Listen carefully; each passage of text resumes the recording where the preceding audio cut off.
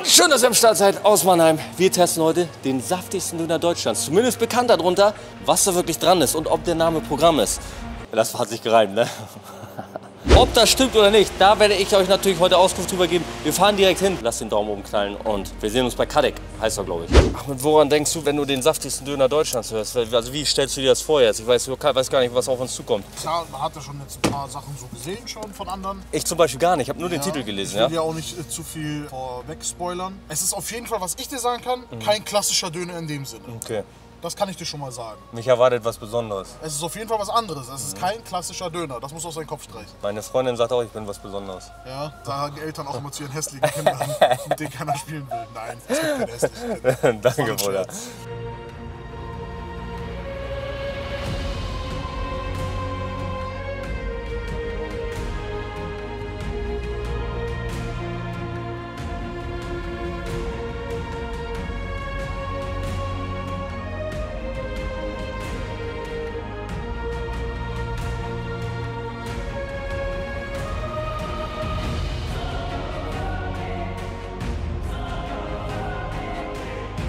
Vorne an der Ecke ist er. Also ob sie draußen sind oder nicht, die Videos, zwei Videos habe ich noch gedreht. Einmal eine Foodtour und einmal einen wirklich oh, wilden, wilden Burger, 5 Sterne Bewertung. Guckt euch die Videos gerne an. Blende ich am Ende dieses Videos ein, wenn sie am Start sind. Falls ihr noch Tipps habt, ich will noch eine zweite Foodtour machen, schreibt es in die Kommentare rein. Für Mannheim, ich glaube, hier ist noch vieles am Start, was man testen muss. Sei es Döner, meinetwegen auch eine Döner-Tour. Ja, das gucken wir hier mal. Saftig sein Vater soll das sein. Oh, Maschallah. Und gleich das Team. Yeah. Guckt euch hier das Team mal direkt an. Stabil. Hier direkt sowas sagt man. Was sagt ihr das, Ahmed? das heißt, es gibt fünf verschiedene Becher mit scharfem Pulver.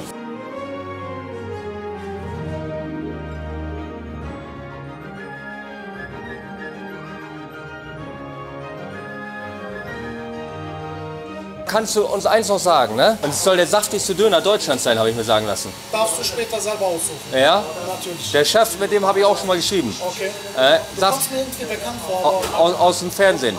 Okay. Äh, nee, äh, wir sind gespannt. Was habt ihr für Fleisch verschieden? Äh, ich habe Hähnchen und Kalb. Das Original ist Chicken. Also wenn man vom saftigsten spricht, muss ich eigentlich Chicken nehmen. Ich mache dir einen Chicken und einen Beef darfst du noch probieren. Okay, dann nehmen wir äh, zwei Runden. Einmal erst das eine, dann das andere. Jetzt etwas, was ihr nicht wollt, Männer. Gurken, Tomaten, Zwiebeln. Habt gehört, Leute, zwei Runden kurz knackig. Ich mag das, wenn das zur Sache geht langsam. Kein Vorspiel mehr großartig hier im Büschen, sondern gleich bam, bam, bam. Guck mal, hier schon mal ganz kurz, ne? Wie gesagt, ich habe noch kein Video dazu gesehen, ich habe nur den Titel gesehen. Ich lasse mich immer ungern also vorspoilern und gucke es mir lieber in Natural an. Und das scheint irgendwas jetzt mit dem Döner vermutlich zu tun zu haben. Das sieht nicht aus wie dieses klassische Dürrenbrot, so ganz dünn.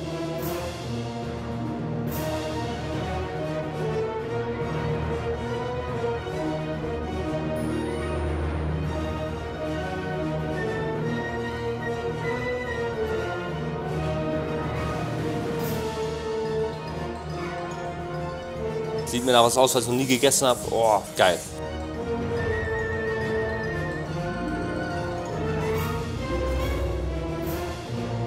Oha, ich habe es auch noch mal gesehen jetzt. Das ist ja keine Soße mehr, das ist ja wirklich flüssig. Deshalb das Saftige. Oh, und hauen das noch mal auf den Grill rauf. Guckt euch das an. Ist so ein bisschen denn wie, äh, wie heißt es jetzt? Ahmed, wie heißt das nochmal, wo die das in, die, in der Pfanne auch braten normalerweise? Shawarma machen das doch auch. Da brät man es doch auch nochmal an. Ja, und bei dem anderen auch, was so ähnlich ist, was ich nicht so gerne esse. Weißt du, Ahmed? Alles klar. Ich schreie durch, durch den ganzen Laden. Mein Kopf funktioniert nicht mehr. Aber Shawarma Arabi machen das auch so. Boah, guckt euch das an, das sieht geil aus, Mann. Ich muss es jetzt knallhart erstmal sagen, scheiß mal in erster Linie aufs Fleisch jetzt, ob das gut ist oder nicht, aber das ist eine geile Variante, das zu machen. Was anderes, was Neues, feier ich, habe ich Bock zu essen, Mann. Schön. Ahmed stand übrigens hinter der Wand, als ich mit ihm geredet habe gerade, das hat er mir nicht verstanden.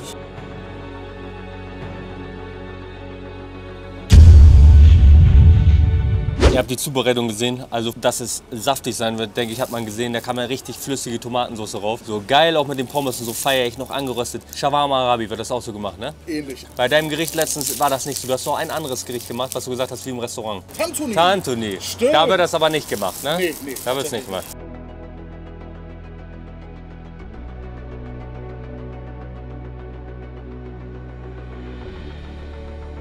Muss öfter neue Sachen testen, Leute. Ich merke das direkt, bockt mich sehr durch die Tomatensauce. Ich habe das direkt ein Feeling, wie wenn ihr in die Pizza beißt. An der Stelle, wo jetzt nicht so viel Käse ist, halt nur der Teig, Tomatensauce, ein bisschen Käse. Hier ist zwar kein Käse drin, aber dieses Feeling erinnert enorm daran, auch durch das Fett und so, was da reinläuft. Ganz ähnliches Feeling.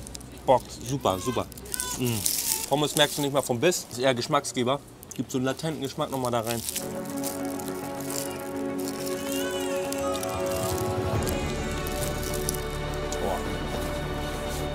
Grüße gehen raus um guten Charo. Der war der Entdecker dieses wunderbaren Stückes, dieses wunderbaren Stammes.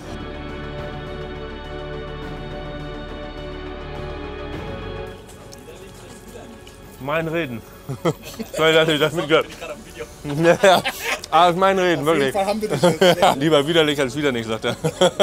Zur Saftigkeit sage ich euch später nochmal, ob das vielleicht übertrieben war oder nicht. Bewertung kriegt ihr auch später. Ich glaube, ich habe einen Bauarbeiter-Dekolleté gerade. Merke ich. Merke den kalten Windzug. Und gehen in Runde 2 und gucken wir mal, wie das Ganze auf Gesamtperformance geht. Ich bin sehr gespannt aufs Kalt. Ich sage schon mal vorab zu dir auch schon mal, ich bin begeistert. Ich dachte, das 0815-Ding hier wieder ein bisschen so hier mal einmal Welle machen, aber ihr habt was hinter dem, was. Bruder, wir strengen uns an, wir halten Ja. die Qualität hoch. Wir geben unser Bestes. Das ist ein sehr gutes Ding. Gibst du mir da drauf sozusagen High Five? Gebe ich dir natürlich gerne. Nee, so, so richtig auf Deutsch. Auf Deutsch.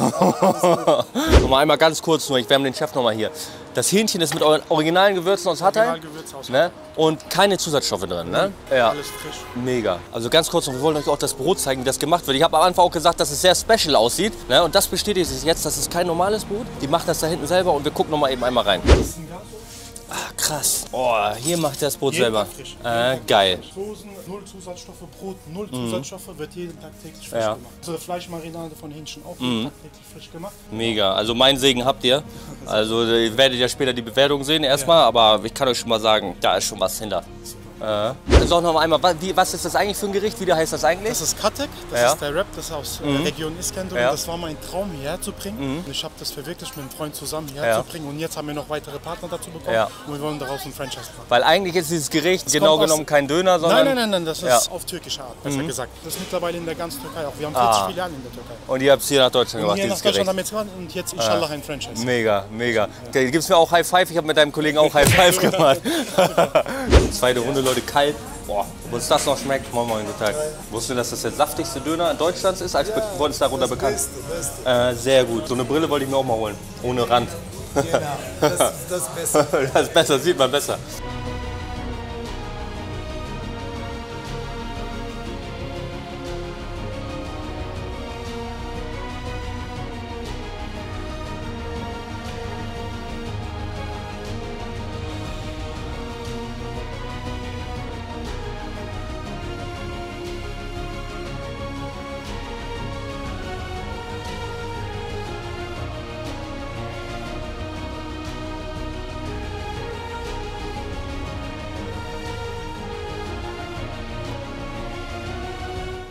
Oh, mega. Danke dir, mein Lieber. Ne? Machen wir, machen wir. So, wieder den saftigsten Döner. Wieder mit Tüte.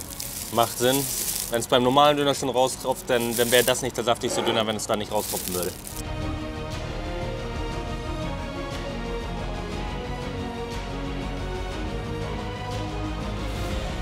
Also gibt zwei Optionen. Entweder haben sie jetzt einfach mehr Pommes reingemacht oder die Pommes kommt mehr zur Geltung bei der Kalbvariante. Kalb ist halt auch in dem Fall, ich würde jetzt mal sagen, nicht ganz so saftig oder kommt nicht so saftig rüber wie das Hähnchen eben. Ist ja oft auch noch ein bisschen dicker geschnitten. Kommt mit meinen Erfahrungen überein.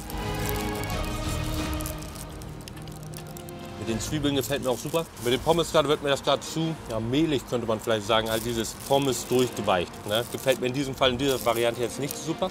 Aber jetzt snacken wir auch, Leute. Ich denke, wir haben genug gesehen, genug geschmeckt. Es ist Zeit für eine Bewertung.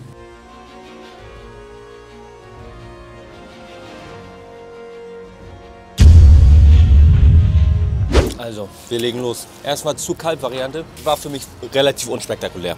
Trotzdem lecker, aber nicht so, dass ich jetzt hier nochmal hinrennen würde, um, um diese Variante zu essen. Die Hähnchen-Variante, die mir auch ans Herz gelegt hat, fand ich wirklich, wirklich besonders. Mal was anderes. Für Leute, die dieses Außergewöhnliche lieben und nicht einen klassischen Döner jetzt essen möchten, ist es genau das Richtige. Saftig durch und durch. Also zu der Aussage, ob es der saftigste Döner Deutschlands ist, würde ich so unterschreiben. Könnte ich, würde ich so unterschreiben. Er ist einfach in sich zerschmolzen und nicht das Eklige, was ich gedacht hätte, dass alles raussapft, sondern es ist in sich geblieben. Hatte eine Ballung wirklich, hat in sich einfach maximalen Saftigkeitsgehalt gehabt. Wunderbar. Wunderbar. Geschmacklich gebe ich dem 8 von 10 Punkten. 8 von 10 Punkten, auch super Ding gewesen, hat mir klasse geschmeckt. Kann ich nur empfehlen, werde es jetzt einfach so als Gericht, weil Döner ist es in der Tat nicht. Aber das konnten wir jetzt vorher nicht wissen. Bekannt ist als saftigster Döner Deutschlands. Und ja, ich hoffe, euch hat das Video gefallen. Lasst den Daumen gerne oben knallen, wenn euch das Video gefallen hat. Und dann sehen wir uns beim nächsten Video.